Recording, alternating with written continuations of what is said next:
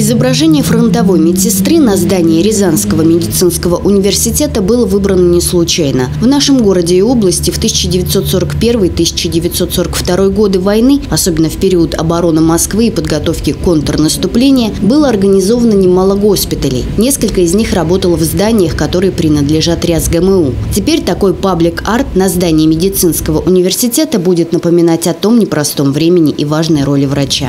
Наверное, говорить э, об актуальности и уместности появления портрета э, фронтовой медсестры на здании медицинского университета и в преддверии э, года празднования 75-летия Великой Победы не нужно. Ну а форма и стиль данной работы в очередной раз подтверждает стремление нашего университета во всем идти в ногу со временем. Изображение фронтовой медсестры сделал Александр Демкин. Художник отмечает, что это именно паблик-арт, а не граффити. Многие называют это граффити, но на самом деле это уже культура как бы разрослась, она усложнилась, и у всех ну, как бы своя философия. Вот. Но эта работа относится как бы к паблик-арту. То есть это как бы легально, это диалог э, со зрителем, вот, то есть э, непосредственный контакт. Сегодня у молодого художника немало произведений в жанре сюрреализма. Его стиль узнаваем, он работает в основном с образами в контексте города. Александр рассказал, как создавал образ фронтовой медсестры на здании медицинского университета. Ну, это сложно. Все-таки ну, пятиэтажный дом и э, погодные условия, все это вводит свои корректировки.